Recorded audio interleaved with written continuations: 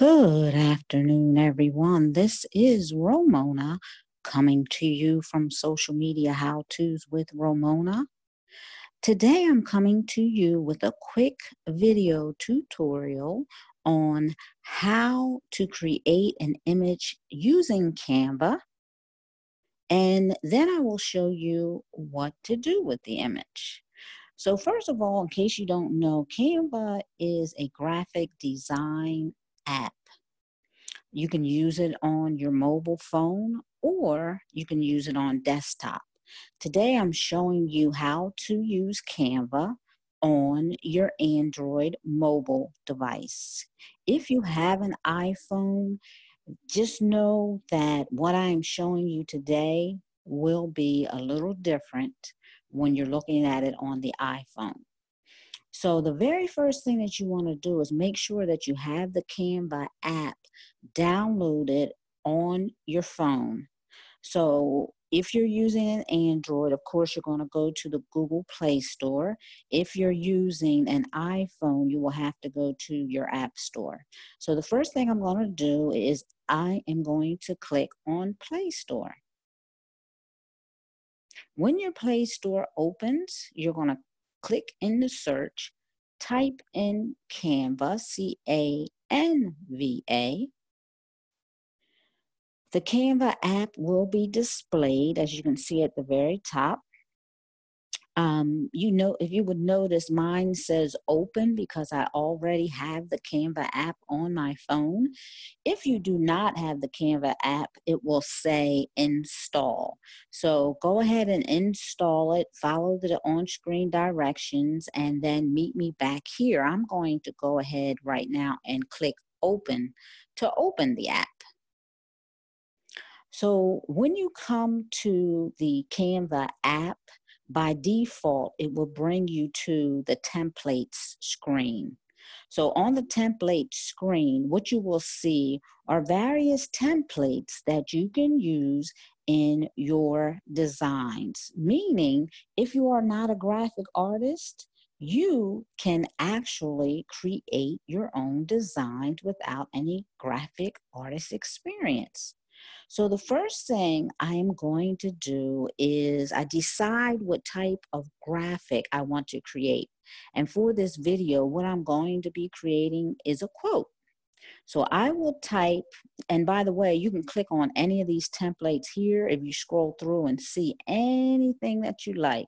So these are different categories that they have, posters, logos, presentations, Pinterest pins, YouTube thumbnails, Twitter posts, etc. So you will find on here uh, social media posts, posters, flyers, banners, anything that you can possibly imagine, letters, photo collages, business cards. Um, and you will see that by clicking on all categories. Um, you can find whatever category you're looking for in here, or again, you can just scroll down, or you can scroll uh, to the left to see, to view all of the different categories that are available to you. So what I'm going to do is go ahead and click in the search bar at the very top and I will type in quote. So, and then I'm going to click search and I will scroll through to find a quote template that I like. And I've already chosen this and tested it just to make sure that it comes out perfectly for this video. So this is one that I chose. The next thing I'm going to do is I'm going to click edit. So click on edit and then you will see the quote template exactly as it is. But now I want to change it so that it looks like my quote. So today I'm going to be using a quote that I was actually quoted, um, or I actually spoke this quote while being asked about how I started out doing social media training. So the quote I actually have on my clipboard. So what I'm going to do is I'm going to highlight the text where the quote is, and then I will hold my finger down and then I will click paste. So this is my quote, miracles happen when you stop focusing on your fears and turn your dreams, your vision into reality. which is exactly what I did when I started my business. So then I'm going to put here where it has someone else's information, I'm going to type my name because I am the one that said the quote. So I type my name, and you see this text up above where my quote is. It says motivational quotes.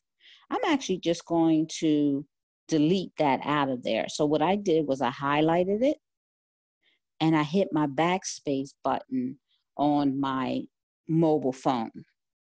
So now I'm going to, if you look at the very top where it says text, there's a check mark. I'm going to click on that check mark to let them know that I'm done. So now that is saved. The next thing that I'm going to do is I'm not real fond about the color because my brand colors are red, blue, white, and two colors of gray. So what I'm going to do is I'm actually going to change that color green in a moment. But the first thing I'm going to do is I'm going to click on the image where you see the man, just tap on it. And I will click on the plus sign in the bottom right hand corner. And you will see uh, various options pop up. So if you want to add text, you click on text. If you want to add an image, you click on image. If you want to add a video, video. So you would just scroll through all these things. If you want to do any of these things, add a sticker, an illustration, a temp, another template, logos, or you can even add a page to this image. But for now, what I'm going to do is I'm going to click on image. And I have my images saved here. So what I'm going to do is I will tap on the man again because you have to make sure that he's highlighted in order to add your image. And then I'm going to click on the image I choose. So I clicked on my image and you see now that one of my class photos is there. Now, what I don't like about the way this looks is that it's cut off some of the people who I am actually speaking to. So I want to be able to see that group a little better.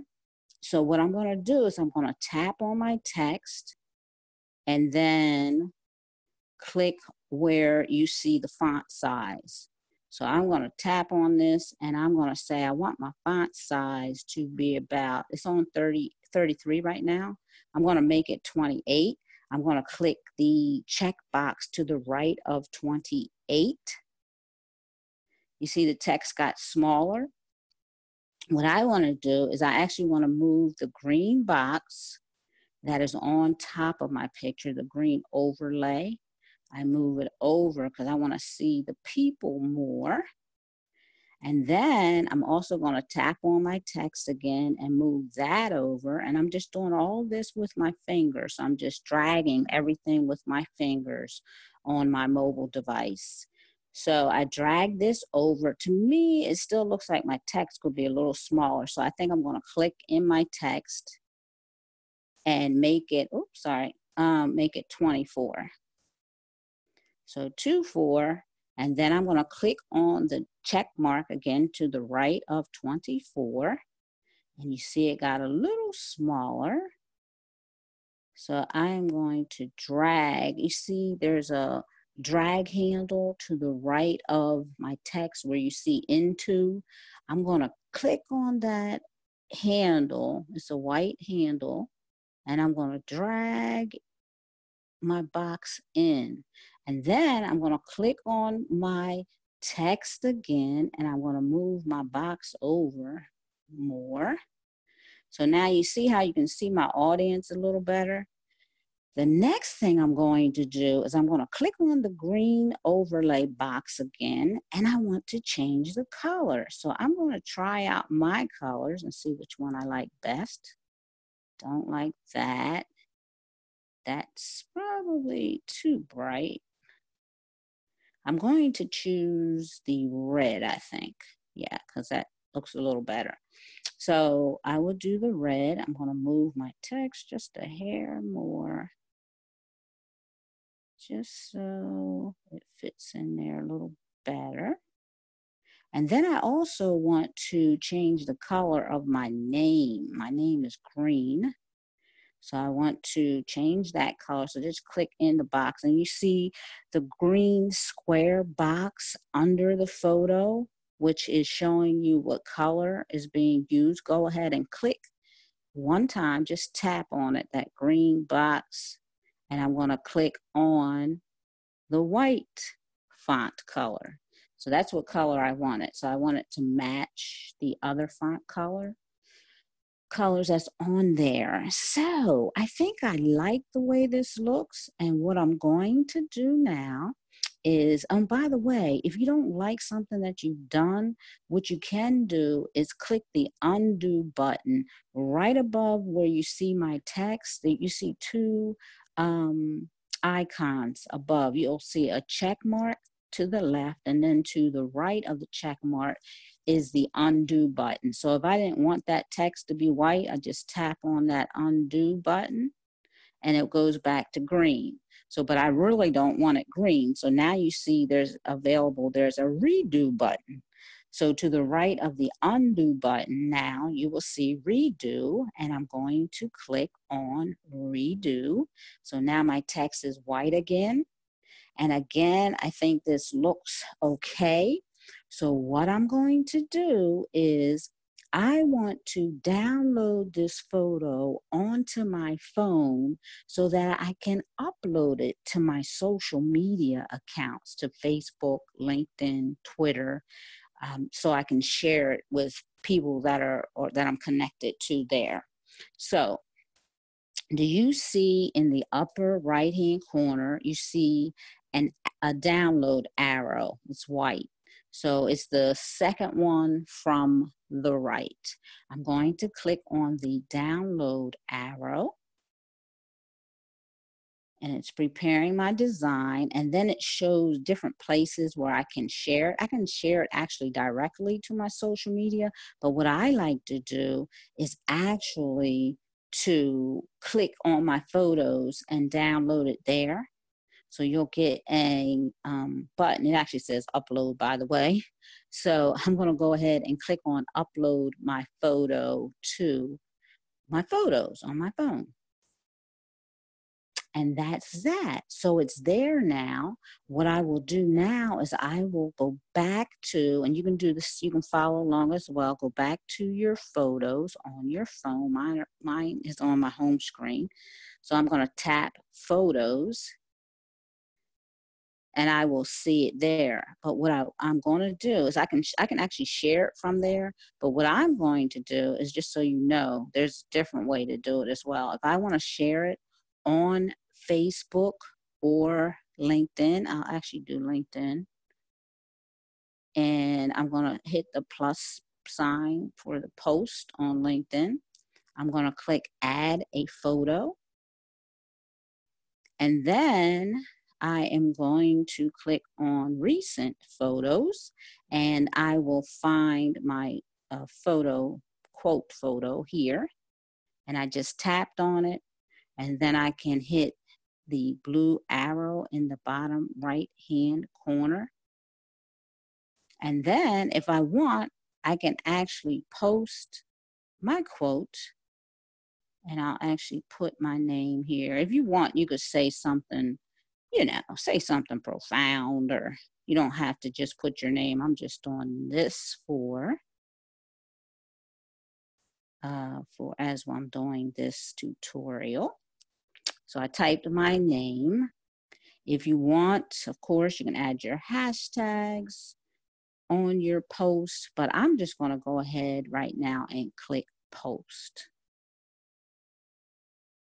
So I posted you see LinkedIn actually posted it. So this that was so quick. You see how easy that is just to create something in Canva and go ahead and post it onto your social media. That did not take me long at all.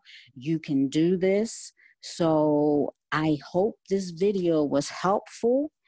Um, if you have any questions, as always, there will be uh, information in the description of this video, letting you know how you can contact me if you have any questions Please be sure to subscribe to my YouTube channel and click on the bell so that you will be able to receive notifications each time that I upload a new video tutorial. Again, I hope that you have a wonderful day and thanks for hanging in there with me. This is Romona signing off.